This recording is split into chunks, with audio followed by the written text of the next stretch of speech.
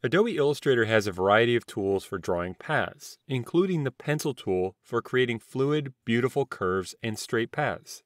To complete the artwork for this project, you'll start by drawing with the pencil tool, then you'll set some pencil tool settings, and finally you'll finish the artwork for the ship out here. If you want to follow along, you can open this practice file from the downloadable practice files for this tutorial. Then to see all the artwork, choose View, Fit All in Window. On the left is artwork you'll add the final shapes to using the pencil tool. When you finish the ship artwork on the left, you'll drag it over to the artboard on the right. Select the Zoom tool in the Tools panel on the left, and drag across the upper left part of the artboard with the ship on it so you can zoom in. To select the pencil tool and begin drawing, click and hold down on the Shaper tool in the Tools panel on the left. If a window opens, you can click to close it. Click and hold down on the Shaper tool again, and select the Pencil tool.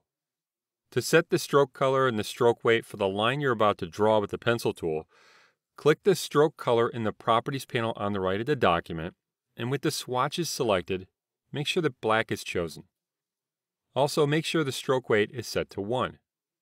The fill in this case doesn't matter since the fill of the paths you draw with the pencil tool will be removed. To the left of the ship, in a blank area, click and drag to create a curved path with the pencil tool. Drawing with the pencil tool is a lot like drawing with a pencil and paper. Even slight variations will show. To make paths you draw with the pencil tool smoother, you can edit the pencil tool settings. Click the Tool Options button in the Properties panel on the right and the tool options appear in the dialog box. Drag the top slider all the way to the right to smooth. That way the paths you draw will look smoother. Click OK and try drawing another curved path with the pencil tool to see the effect. Notice how the path is smoother after you release the mouse button. Now you'll draw a part of the ship.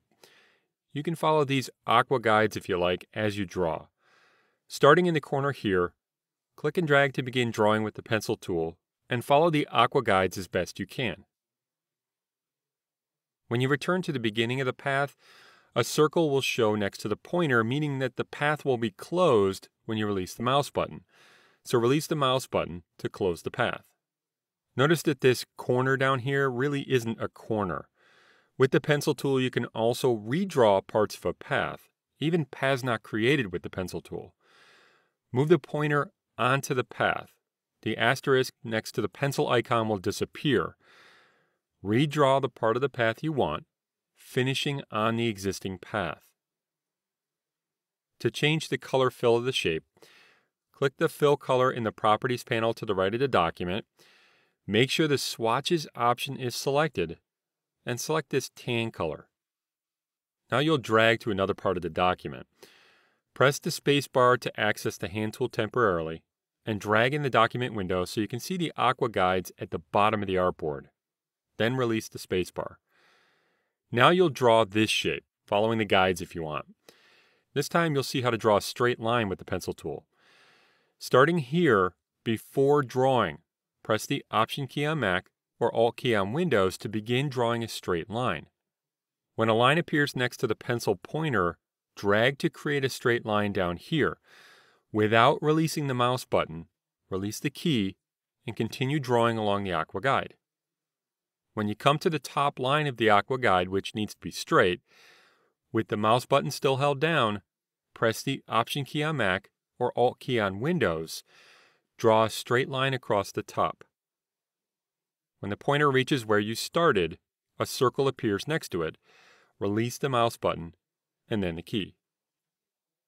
To set the fill color for the shape you just drew, click the fill color in the Properties panel, make sure the Swatches option is selected, and select this orange. So you can see all the artwork, choose View, Fit All in Window. To complete the artwork, select the Selection tool in the Tools panel, drag across the original two paths you created, and press Backspace or Delete to delete them. Then drag across all the ship shapes to select them, and drag one of the selected shapes to the artboard on the right. Drawing with the pencil tool can be really fun and give you a tool for creating fluid paths easily. Like with all of the tools in Illustrator, take your time and practice creating in your own projects. You can save a copy of this file by choosing File, Save As, and make sure to give it a different name so you don't overwrite the original practice file.